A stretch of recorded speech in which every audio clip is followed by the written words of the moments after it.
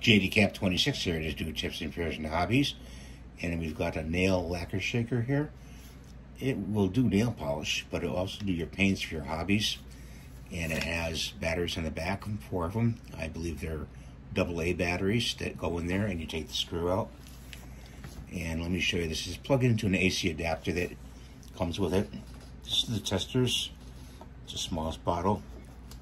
Just hook it in there with a rubber band and it hooks over here on a little plastic knob and you turn it on. You can also just hold it like that or press it all the way down. And that'll mix up your paint for your Testors' lacquer. Uh, actually, I'm sorry, this is enamel. And then you've got your other bottles here. This is uh, Model Air. And it fits in there on the rubber band.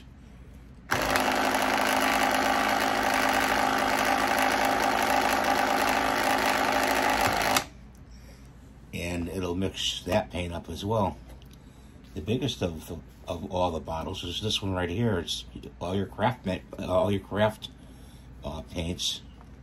You can just hook it in there like that.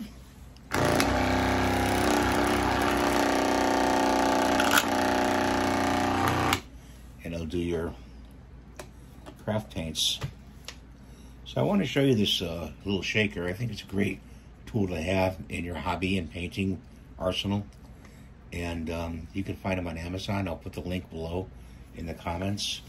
And uh, um, it's good to have your paint mixed up well, especially if you're running it through an airbrush. Just gonna put this one back on here, shake it up because I gotta use it.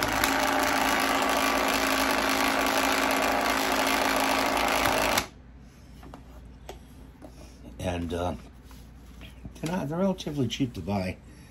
And um, I would definitely recommend getting one um, for your hobby of painting.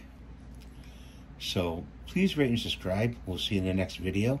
If you find this video valuable, please tell your friends. And thank you very much.